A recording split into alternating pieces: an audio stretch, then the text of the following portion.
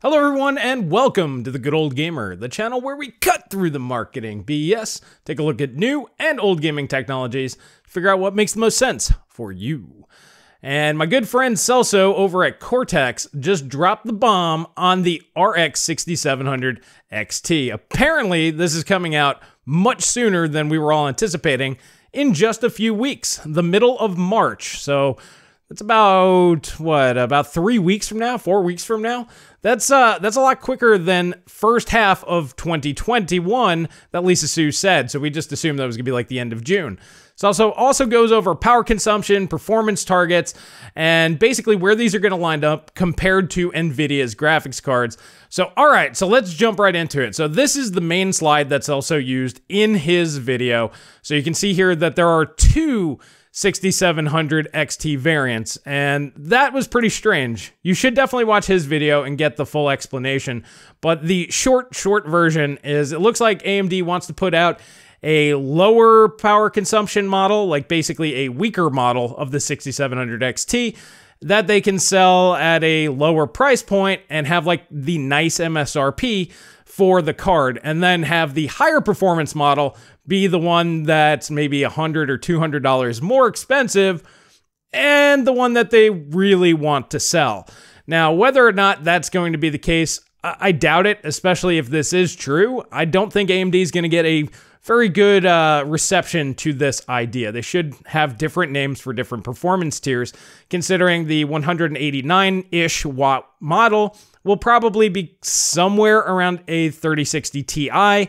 Meanwhile, the 230 watt model will likely be closer to something like an RTX 3070. Celso believes that 25 ish percent uh, faster than the 5700 XT would be the 230 watt model.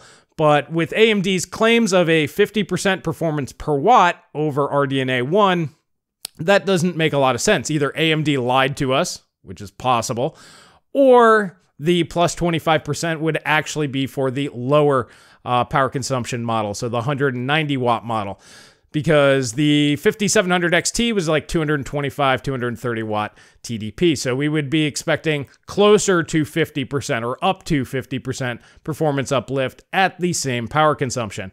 Now, I've always assumed that the high end Navi 22 was going to be a 3070 competitor. So at 220, 230 watt TDP, that should be pretty close. If you're looking at about 30 ish percent, 35% faster than a 5700 XT, maybe up to 40% at similar power consumption. That does make a lot of sense to me. Now, Celso also brought us news about the 6700 non XT, which realistically that should be the 190 watt model and then they should have a 6600 XT. That's just my thought. AMD, if you're watching this, that'd be the smarter way to go if you're planning on doing this. But anyway, that's supposed to launch in April, which is still much sooner than we were anticipating.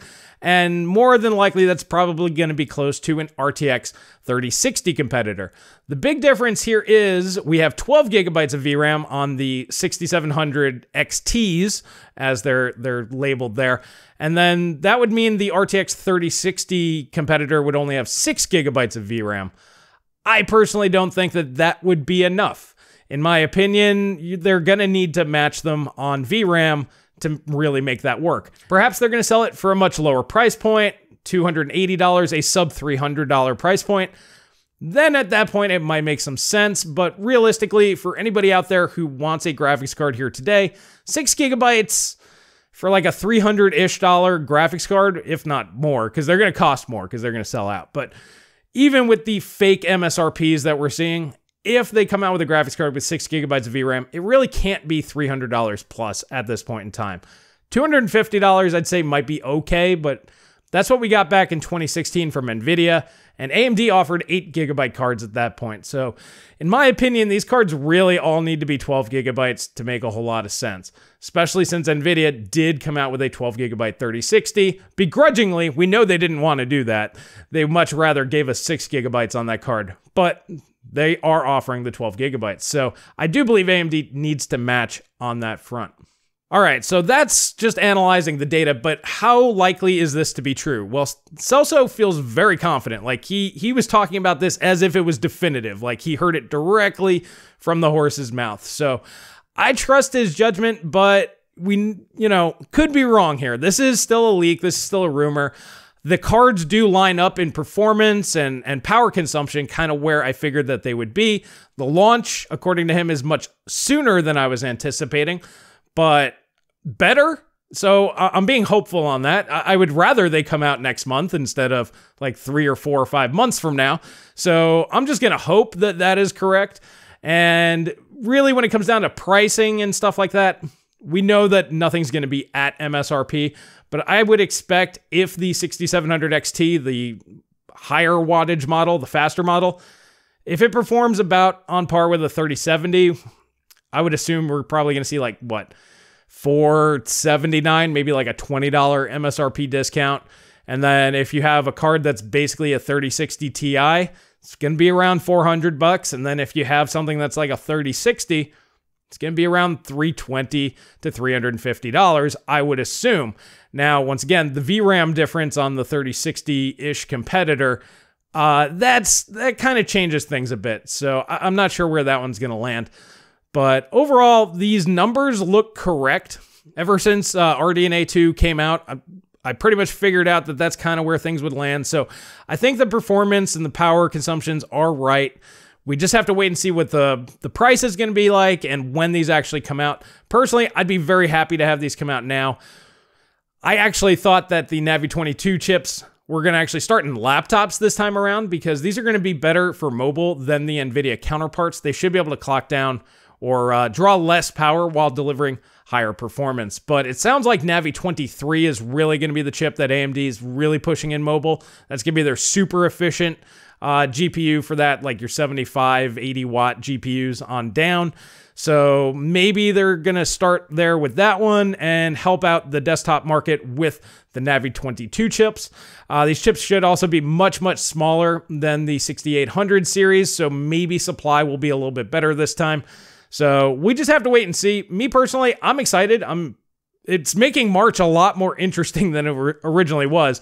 All we really had was Rocket Lake, and let's be honest, guys, I don't think too many of you guys are that interested in Rocket Lake CPUs.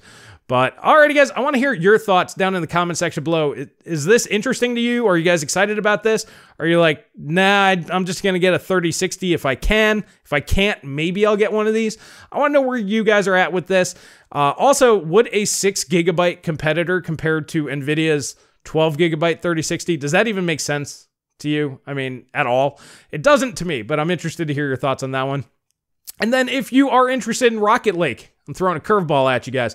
If you're interested in Rocket Lake, let me know down in the comment section below because uh, I don't think too many people are, but I could be wrong. Maybe you are. Let me know. And to wrap up, if you guys like videos like this, please smash that like button. Please subscribe. Please share with friends. Sharing on social media is pretty much the best way that you could support the channel if you don't want to support directly. So I want to thank you all for that support. And that's really all I have for you guys here today. And I'll catch you guys in the next video.